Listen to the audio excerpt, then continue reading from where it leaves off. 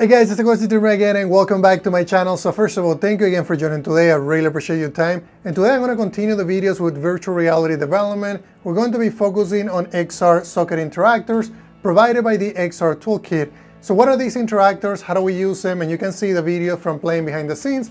Basically, it allows you to restore the position of an object by showing you an overlay. So what I can do is I can grab an object, pick it up, and then as soon as I put the object and the collision happens, it's going to tell me where the original position was, so I can let it go, and it's basically going to snap on at that previous position. So let's jump into Unity and start looking at it. The way that it's going to work is going to allow us to place an object, say that I pick up this object, then as soon as I pick it up and I move it around, I'm going to be able to put it around the socket, which is basically going to put it back in place where it was before.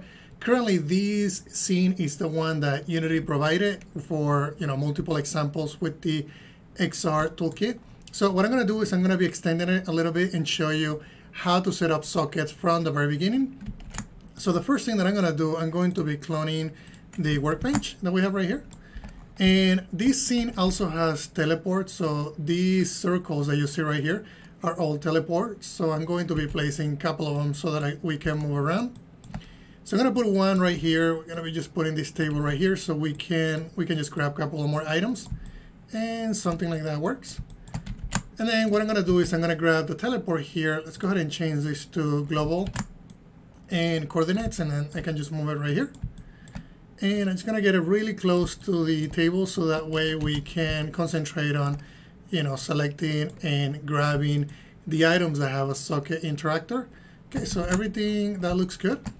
Then what I'm to do, some of the things that I want to grab is I want to be able to grab the pane. So I'm just going to, let me clean up everything here. And I'm going to, I'm just going to go ahead and go into game object, create an empty. I'm to just call this one environment. Unity doesn't do this in their projects, but I'm going to, I'm going to do it because I think it's to make it, it's to make it a lot easier. And I'm to move everything inside environment, everything that is an asset. And then I'm also going to be moving this the starting area. Let me look at the starting area. We can also move that as well. Perfect. That way I can focus on, you know, the new things added outside and then I'll put it back inside of the environment. Awesome. So what I'm going to do is I'm going to be, I want to be able to grab the pane. So I'm just going to clone the pane. I'm also going to be putting it outside the environment. And then we can just go ahead and hold our V key. That way we can snap to vertices like we, like I'm doing right now. It's going to go get closer here. I'm going to also make sure that there's no rotation on this item. And we can, actually, we can just go ahead and add some rotation. I'm going to show you a trick because I want to make sure that this is, the rotation on this object is clean. So actually, I'm going to make it zero. And then we can go back to it and, and fix it. Then I'm just going to clean up this name so that we can, we can just concentrate on, you know, keeping things clean. And then the other thing that I'm also, I'm also going to do, let's go ahead and grab the hammer that we have here and then I'm just gonna go all the way up and we can put it right next to the pane. Just gonna go ahead and rename it and I'm gonna do exactly the same thing. I'm gonna hold my V key. That way we can snap it and go ahead and hit F so we can get closer. And there we go. Then I'm also going to be removing the rotation. There we go. And something like that works. We can just probably, we can probably just do like 90. I think 90 is fine then I'm just going to I'm going to let's actually let's set it to zero. I think everything needs to be clean and then and then we can change it later. And it's gonna put the hammer right there. We're gonna put the pane right here. And all of that looks looks good so far. Let me move it back a little bit more. Something like that works. And then maybe this one bring it in a little bit more. Okay so what do we need to do to be able to grab this subject it looks like the the hammer already has uh, Grab interactable. So let's go ahead and remove it. I just want to show you from scratch what you need to do to make this work. I'm just going to remove all these different components. So we're going to have a very clean hammer. The pane doesn't have anything because that wasn't an object that Unity was allowing you to grab. So what I'm going to do is on these two objects, I want to add a couple of more empty objects. It's going to go ahead and, and I'm going to drop these empty, empty objects inside of pane and one of them inside of hammer. And I'm going to show you why that is. I'm going to set it to 0, 0, 0 so that it is at the pivot point. I'm also going to do that here. Perfect. And then this one is going to be the, the actual attach. So I'm just going to call it attach. And I'm going to show you why that is. Let's actually call this one attach as well. So for this one, I'm going to be placing it at the, basically at the very, so right about here. The reason why I want to do this is because I want to be able to grab the hammer. So the way that it's going to work is I'm going to be using this transform to tell the system where I'm going to be grabbing the hammer. So I can just bring it back. So think of it like a real hammer, right? You don't grab a hammer from here. You normally grab the hammer from the handle. So that's how that's going to work. On the pane though, I think we can, I think we can actually, actually rotate it. I think that should be okay. So on the pane, I'm going to do something similar. Let me go back into it. But let me see, right now it's on the, it's on the pivot point.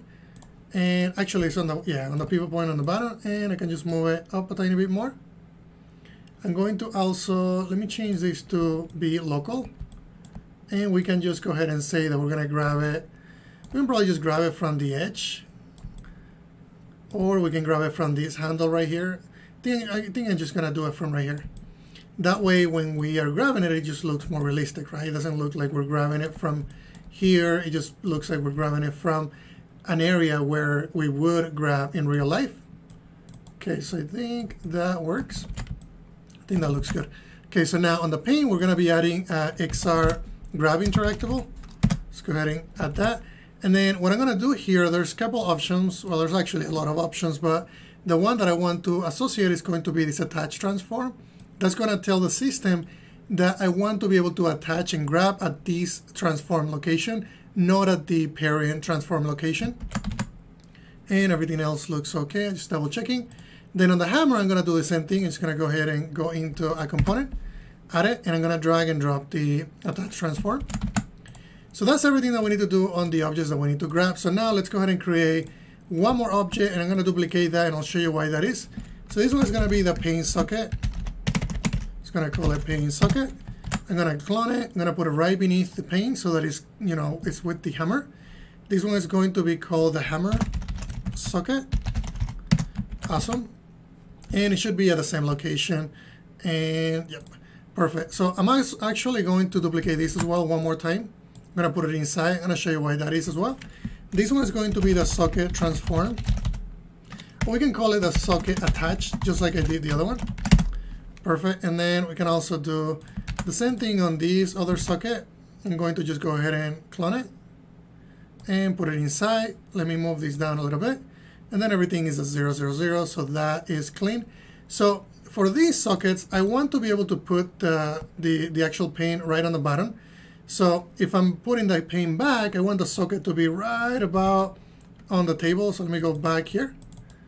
And let me double click on the pane let me make sure that, yep, so I'm going to move it just a tiny bit up. So we are at negative 0.17.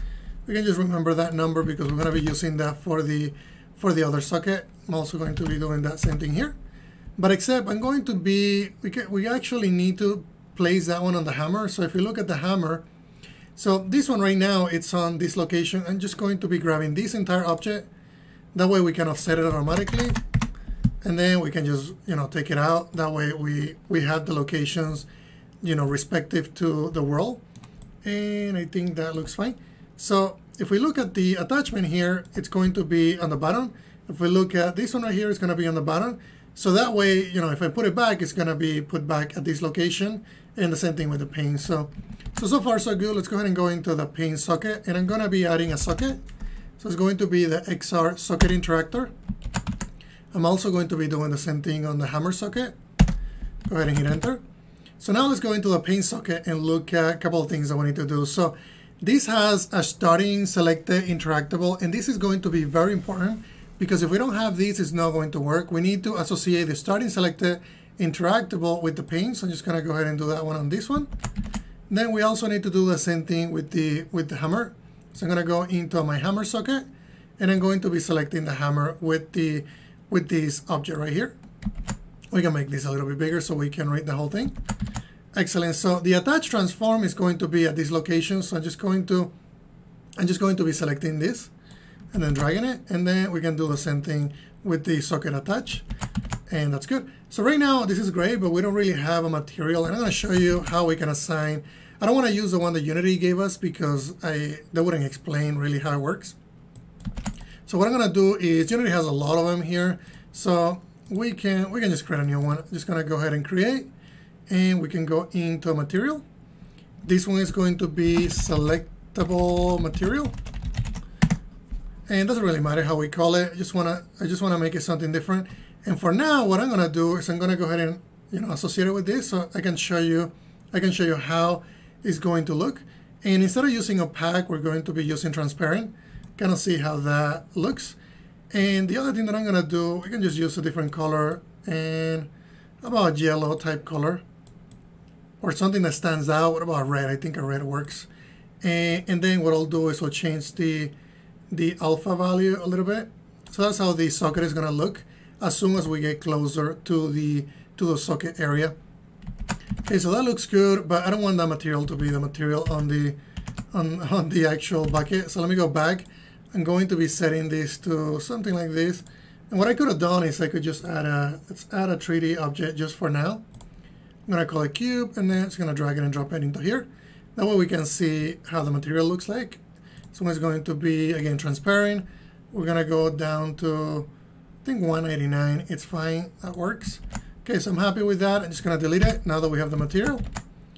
Now if we go to the paint socket, what we need to do is we need to associate the selectable material with the interactable hover material. I'm gonna do the same thing on the hammer socket, drag it and drop it into that object. And so far this looks great, right? But we need to tell the socket that there is a collision. And how do we do that? We need to add a collider. So to do that, I'm going to be adding a new collider. This is going to be an sphere collider. I think that's the one, yep. And then I'm also going to make it trigger. And I'm gonna make sure that I change the radius. I'm gonna enable the edit collider, that way we can see, and that is, you know, that is giant. We don't want it to be that big. We can get closer, maybe something like something like that or how about a little bit bigger? Okay so I think I think that works. That works fine perfect.